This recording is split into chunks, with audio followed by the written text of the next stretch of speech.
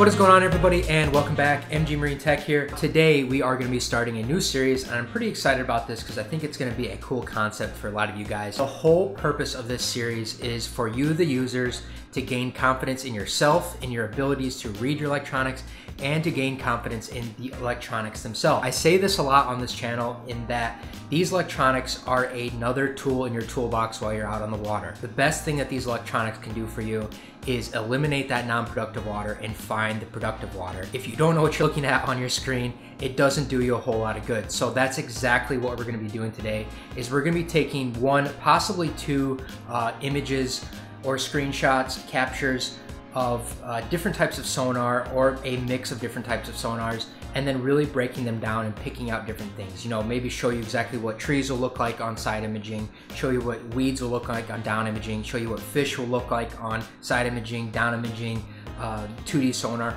all that kind of stuff. That is exactly what this series is going to cover. This is going to be the first in hopefully many more videos to come up like this, but I do have one favor to ask and it involves you guys and that is if you have a screenshot of something that you want to see on the channel and see it broken down and really picked apart, please contact me on my Facebook page, get that picture over to me, and that's something that we can definitely do on the channel. Today, we are gonna be starting with some very basic stuff and then working our way through this. I hope to keep these videos pretty short and sweet, uh, but really dive in and show you guys exactly what you're looking for and give you guys that confidence in yourself and your electronics to be more productive out on the water.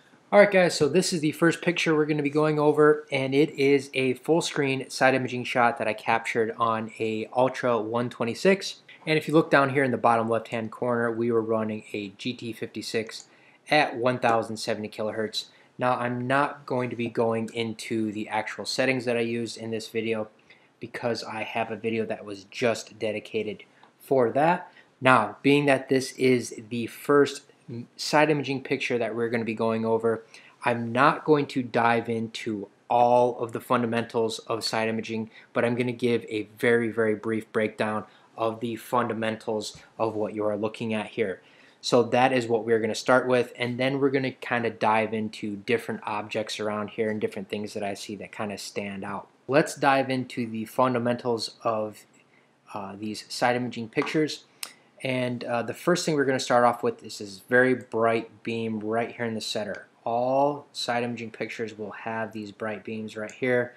And this is the path that the transducer took. This is where the picture originates from. Side imaging, you can think of it as two flashlights, one pointing to the left, one pointing to the right. So everything that's on the left side of your boat or on the left side of your picture is the left side of the boat everything on the right side of the picture is on the right side of your boat. Everything that is at the top of the screen, this stuff up here is the newest data and your image will move down as you progress through the water and everything down here is older. So this, everything down at the bottom of your screen is history. It's stuff that you've already gone over. Uh, moving on, we have all this black area right here. Uh, I will kind of highlight it for you guys the best I can. But this black area that is directly to the left and right of our transducer beam is the water column. So all this black area is water. This is not the actual bottom of the lake. This first line right here where it goes from black to a very hard return, that is the very uh, beginning of the uh, bottom of the body of water that you're in. So this is the first return where that transducer's beam hits the bottom and then going to the left, that's directly off to the left side. In this picture, you'll see that uh, we are shooting at a 100 foot to the left and a 100 foot to the right, which is dictated, uh, obviously right here, our range is set to 100 feet, so it shoots 100 foot left, 100 foot right. So we are cramming 200 foot of information onto one screen right here. So objects can look extremely small on this picture but can be rather large in real life. Let's kind of dive into some of the things that we are actually seeing in here. The first thing starting at the top of our screen we've got a bunch of sand right here. This area right here is all sand. There looks to be a potential log right in uh, sorry don't move that a potential log right here, maybe a couple of rocks right here. Um, nothing too interesting right there. Now on the right side in that same area, this is a big rock flat. There's a bunch of rocks, boulders, uh, gravel in this area. Um, and if you uh, just think of it logically, if you were to take a picture of rocks, this is what they would kind of look like. You know, you've got a bunch of mounds and rocks in here, and then you can start to see the shadows from casted from the bigger rocks all the way to where it gets dark here, where you can't really see anything either because it got shallow or, or uh, just the transducer beam couldn't get out that far. Now, where you can really start to see all these rocks is in a couple areas on here. Now, this um, right here is a point. So this is a raised area in the river that goes all the way across, kind of like so. Now, there's a couple of reasons I can tell that it is raised. One, because of this peak right here. You can see that the water column, this point from here to here, that point got narrower, so that is shallower right there. And the same thing, if we do the same thing over here, narrower right there. So this is a ridge that runs through this uh, runs through this river and you can see all the rocks on here. Some of these might actually be fish that are holding right on top of this rock ridge, um, which would be these little specks, all these little individual specks. Those may be fish. I'm not 100% sure on this one because fish and rocks um, are really hard to differentiate on, on side imaging. If there are fish laying in the rocks, it's almost impossible to see them. But because of these uh, these white specks are standing out, especially from these shadowed area right here, I would bet to venture that those are fish in there. Even these specks right here, they just look different than everything else. And I would bet that that was a big pot of fish holding on the backside of this little hump that travels all the way through and that's covered in rocks so it'd probably be a good spot to stop and fish. Now going back over to the right side over here we see a large shadowed area which I can circle right in here.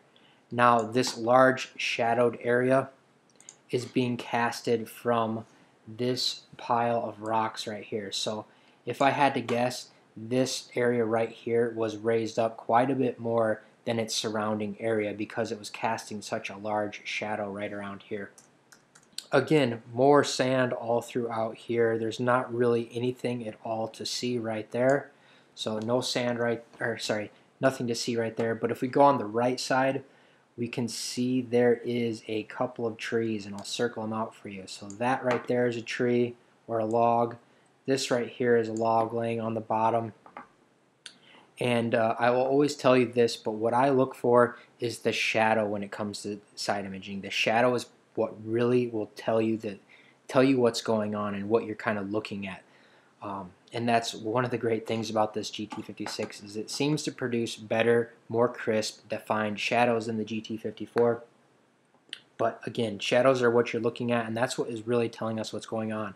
If this shadow was not here, the tree itself would be extremely hard to see.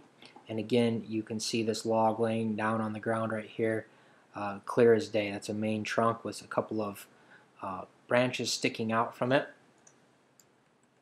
Now moving down again, we have another hump, another rock hump that we went to. Now the cool thing about this hump is that you can see, uh, obviously it got, it went deeper, got shallower, went deeper again, and this hump you can clearly see goes just like this. So that that hump right there and then the same thing. This one kind of went over like this. We don't really know what it did over here because it got so dark. But they're both kind of like that. So this all this area that I kind of have highlighted would have been shallower. So it would have been shallow, then starting to taper off. You can start to see how it gets darker, starts to taper off, taper off, taper off until it finally hits uh, pretty a pretty consistent depth right here. So if you're looking for rock parts uh, points, say you're a walleye fisherman and you see something like this come up, and you can you know you want to drop a waypoint right here. Say okay, that's a spot I want to return to and start seeing if they're fish. Maybe if you have live scope, drop your live scope in. Hit that part right there and hopefully have a productive day on the water. Now we have one more little object on here that may potentially be a fish. Um, it's never really stood out to me until I really started diving into uh, this screenshot and really taking a good long look at it. And that's this little guy right here. I wish I could zoom in for you guys. I probably can do it in post editing, so maybe I'll do that right here. But um, you can see one little grain of rice right here, and that would be the actual fish mark. And then you can see its shadow. Now, the cool thing about side imaging is you can kind of tell how far something is off the bottom or in the water column depending on how far its mark is from its shadow. So being that this is on the left side of our boat, the mark will come first and then its shadow will be on the left. Just like these trees over here, it comes the tree mark first and then its shadow, tree mark first, then its shadow. But we have the fish mark and then its shadow. So the further the actual mark is from its shadow, the further up in the water column that fish or object will be. So you can see this, say this rock that's right here, its shadow is directly next to it. That That's because that rock is obviously sitting directly on the ground. Same thing with these rocks up here. All these rocks and boulders and whatnot, their shadows are directly next to them. This one, you can see there is clearly a little gap in between there. And that is kind of the dead giveaway that that's a fish rather than just a rock sitting on the ground is because of its distance from its uh, it, the mark between its shadow. Alright guys, there you have it. That was our first breakdown of a screenshot of hopefully many, many more to come in this series. Now, like I said in the very beginning of this series, the whole point of this series is for you, the user, to become confident in yourself and your abilities to read your electronics and gain confidence in your electronics because that is crucial when you're out on the water is to have confidence in what you're seeing on your screen to find that productive water and eliminate that non-productive water. If you have a screenshot, something that you may need clarification on or want a little bit of an explanation of what you're actually seeing, please feel free, contact me. And if it's a cool screenshot, I think it's a good lesson for everybody. I'll put it on the channel and we kind of do the same exact thing uh, with your screenshot. If you guys like this style content, please give it a thumbs up. Lets me know to keep kind of doing this style content. And if you haven't already, please hit that subscribe button. It truly does help me out a lot. But as always, guys, stay tuned for more tips and tricks on MG Marine Tech.